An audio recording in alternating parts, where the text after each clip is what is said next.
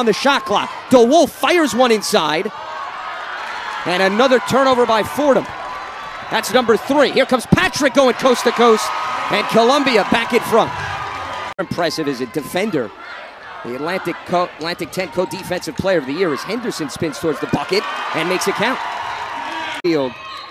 Fordham right behind at 43%. A give and go between Pratt and Hsu. Beautifully executed as Abbey Hsu now has eight. On average. Patrick left all alone in the corner. You don't want to do that for that very reason. Jaida Patrick is two for two from downtown, and just like that, she's at double figures with 10. Its first lead since 4 to 2. The back and forth ensues as Kaitlyn Davis reclaims the lead for Columbia. Hsu. Nothing but net. I feel like that's how the first quarter started for Fordham, and then they found their rhythm. Speaking of rhythm, Hannah Pratt dialing it up from long range, the fifth three of the day for Everybody, an opportunity to breathe, relax, exhale.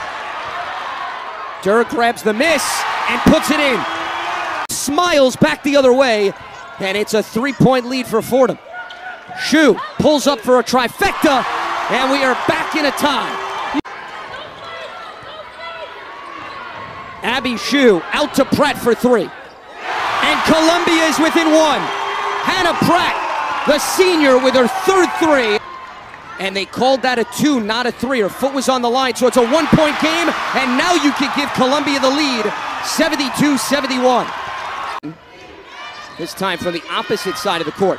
They go inside to Davis, goes up strongly, can't get the roll. The follow is good, plus the foul. Kaitlyn Davis, the senior, trying to keep Columbia's season alive. Quick basket. There is contact there.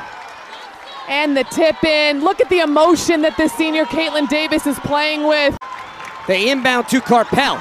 Three seconds and counting. Leaves it for Downey. Puts it up at the buzzer. And that is going to do it. Bragging rights in New York City stay here in Manhattan as Columbia outlasts Fordham 78 73.